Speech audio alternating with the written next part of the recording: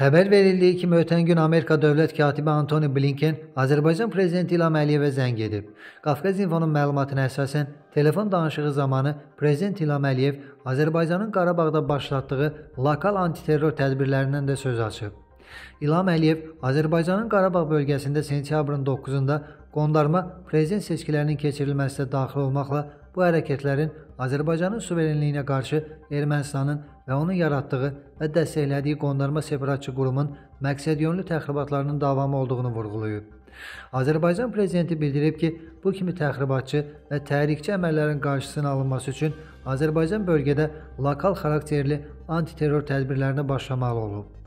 İlham Əliyev vurğulayıb ki, antiterror tədbirlərinin həyata keçirilməsi zamanı mülki əhali və mülki infrastruktur obyektləri hədəfə alınmır. Yalnız legitim hərbi hədəflər sıradan çıxarılır.